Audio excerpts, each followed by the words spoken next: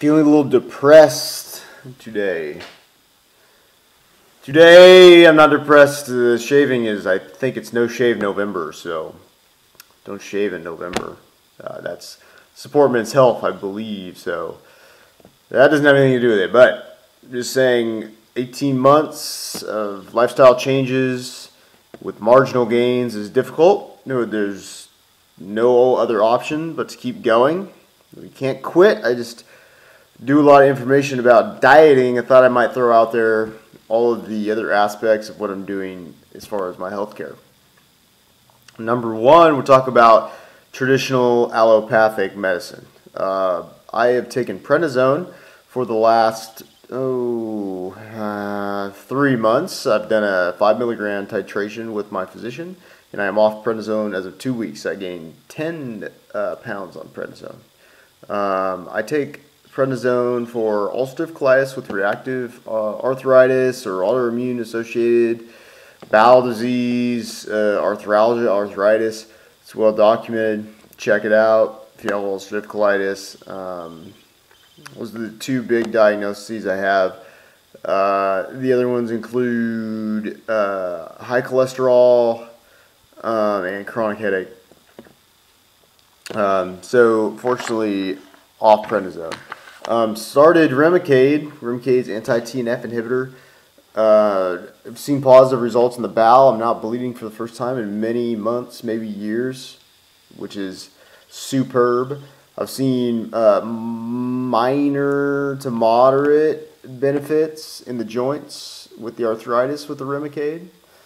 Um, definitely not where I'd want to be as far as my life activity and being and being uh, able to do my job without pain on a daily basis. Um, I take methotrexate, which is an anti-metabolite. Um, it's used to treat cancers. Uh, also used to treat autoimmune diseases and ulcerative, uh, not not ulcerative colitis, but um, rheumatoid arthritis. Um, that's a pretty hardcore drug as far as what it can do to your body. Uh, a low dose of that to try and help with my joint disease. Take vitamin D, uh, 5,000 international D3 5,000 international units. Um, that is the appropriate dose for me under the direction of my physician. It's not again, this is not medical advice, just kind of blogging what I'm doing and what I'm going through on a daily basis. B12. Uh, the only reason I take B12 is because we used to get B12 from the soil before we washed our plants really well. Um, and now we don't eat any soil anymore. I went to a truck farm, ate some lettuce, and I was eating soil with it, and I would have gotten B12 from that because B12 comes from bacteria in the soil, but we're very clean, and so we don't get that anymore. Take Asacol every day, which is a maintenance drug for ulcerative colitis Crohn's. Um, derivative of sulfasalazine. It's a 5-ASA drug. Uh, I take Metamucil, or I get incredibly constipated, even with having a high fiber vegan diet. And I also take Tylenol. Um, try to keep it below 3 grams a day for myself because I'm on methotrexate. Um, again, not medical advice, just working with my doctors. So those are the drugs that I take, and unfortunately, because of the bleeding in my bowel, I cannot take your classic non-steroidal anti-inflammatories like Motrin or meloxicam or even Celebrex or anything like that that you would give to folks that have inflammatory joint disease. It makes my bowel bleed worse and kind of slides me backwards. So um, I get to take Tylenol, um, which is pain control inadequate, but it is what it is. I do a ton of physical therapy. I do physical therapy formally once a week. I go to their clinic for gym time once a week, and then other two times a week I'm on my own. So I'm probably doing four to seven hours of actual strength training every week, combined with four four to five hours of aerobic activity on the bicycle. That you've seen that. Um, so I have a really good ther- physical therapist worth his weight in gold. I have a really good massage therapist, muscle therapist worth her weight in gold. Um, uh, I've done acupuncture in the past. I would go back if I felt there was an, an indication for it. I believe in alternative forms of medicine. Um, acupuncture was great kind of for the acute period, but now that I'm kind of a chronic patient, um, it's kind of it's kind of tough.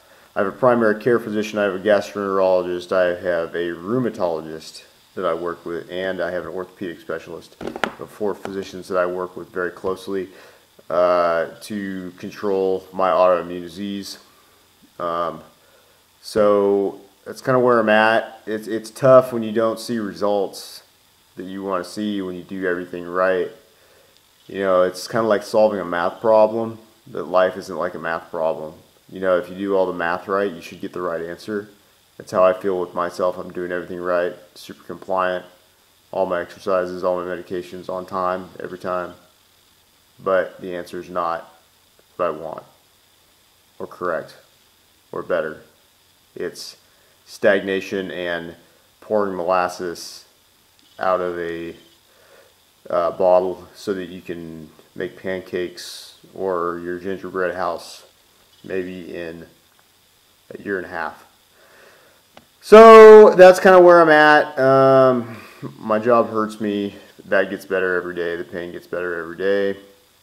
Acetaminophen actually helps quite a bit, which is Tylenol. Let me know if anybody out there is experiencing these same types of things with their ulcerative colitis, uh, um, autoimmune, uh, arthritis type stuff. Uh, I also take Paxil for chronic headaches. Um, and again, high carb vegan diet over 200 days. Uh, no animal products knowingly whatsoever. So, share your comments with me. Hope you guys are having an okay day. We'll talk to you later.